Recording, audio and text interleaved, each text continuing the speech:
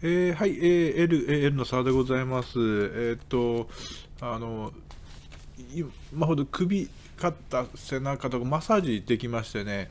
えー、だいぶ調子が良くなって、本当ね、このところ、あの、ちょっと、あの、長距離ドライブもあったりだとかで、えー、首、肩、背中が辛かったんですけども、ようやく、あの、治って気分が、あの、すっきりしてきました。で、その、あの待ち時間とかにね、ちょっと、あの、この本ですよ。えー、有名な本ですけども、これをもう一回読み直してたんですけども、えー、そのね、最初のところのね、この分かりやすく書こうっていうところですね。分かりやすさをを犠牲にしてはいけない。こいつのために分かりやすさを犠牲にしてはいけない。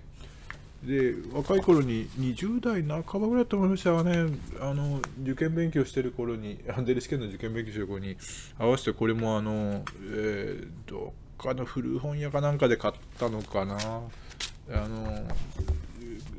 空き時間にこう気分転換に読んでたんですけれども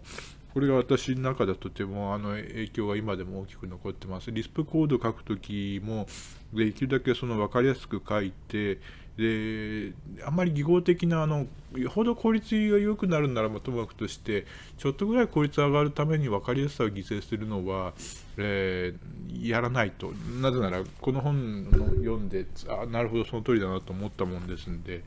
で結局そのあと技巧に走ったコードっていうのはですね後で苦しむんですよ自分が。あのまあ、大体あのコードっていうのはもうほぼ必ずと言ってほどバグがありますんで、えー、そうするとデバッグの時にですね自分の書いたコードを読み直すわけですね。え、まあいろいろその時はこう予防的にコメントでデータコードだとかその時考えたことなんかを記録はしておくんですけれどもそれでももう一回読み直すっていうのは時間それなりにかかるわけなんです。でその時にあの奇妙なこうなんていうんですか、技巧を狙った、えー、コードっていうのは読むのに非常に時間かかるし、理解まで思い出すまでに時間かかっちゃうんですよね。えー、それがあの一目瞭然の平易なコードだと、さっと思い出せて、えー、でその原因を探ることが、えー、容易なもんですんで、あの本当にあの例えば EasyAS LISP のコンパイルのコードなんかをご覧いただくとお分かりになると思うんですけども、えー、妙な技巧は一切使ってなくても非常に平易な、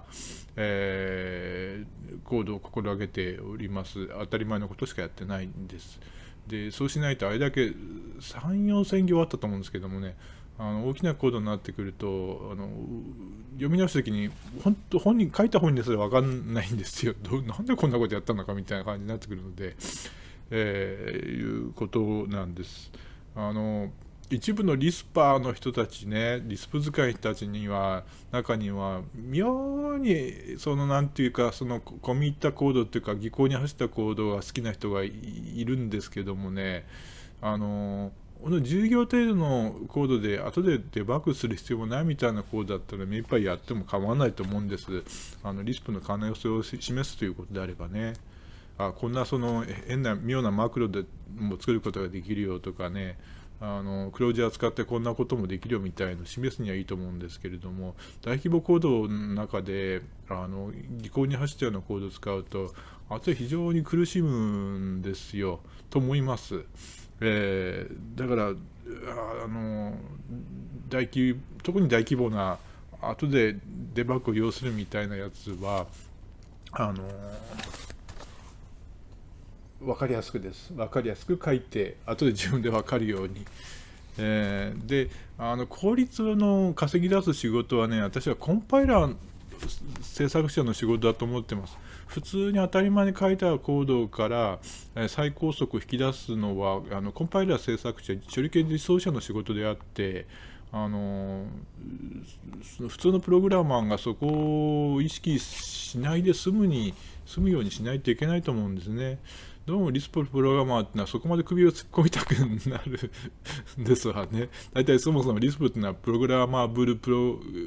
プログラマブルな言語なもんだから、中身まで首突っ込みたくなるのはよくわかるんですけど、あの、そこまでやりすぎちゃうと、後で自分で自分の首絞めるところがあるもんですんでね、こういうのはやめといた方がいいと思うんだよな、なんて思いながらね。えー、もう一回読み直してました。今売ってるんですかねこの本ね。もうないのかな。古本屋行くとあると思うんですけどもこれは私のバイブルの一つ